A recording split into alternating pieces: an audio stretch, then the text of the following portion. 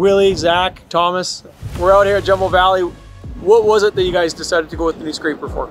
Well, we had an Ashland before when we was together with White Lake Colony, and it was uh, it was a good scraper. But I think Ashland makes a better scraper now. Lots of improvements, and you can probably point over there to the add-on building over there. We needed to do some uh, scraping there and bring back dirt, and then we we're building a six-plex house, and we had to do the basement. So we did a lot of good work with it. It's a good scraper. It's a 24 yard. It's not too small and it's not too big. I think it's a very good size for every colony.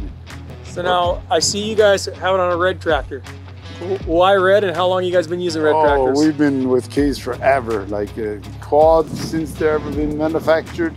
They're good, they're quiet, they are a superior tractor. We're loyal to Rocky Mountain dealers they know what we need. We know what price we want to pay, and we have a good relationship with them. Very good.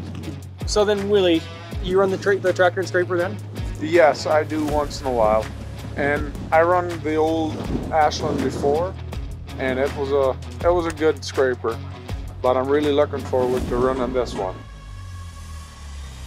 We have a vineyard that we have to do some land leveling and to direct some water when it's raining and stuff like that. Drainage will probably be a big thing for you guys going forward yeah, too, hey? we got going forward, we got a lot of irrigation pivots. We need to drain some water from slough to the ditches. So we'll, we'll get good use.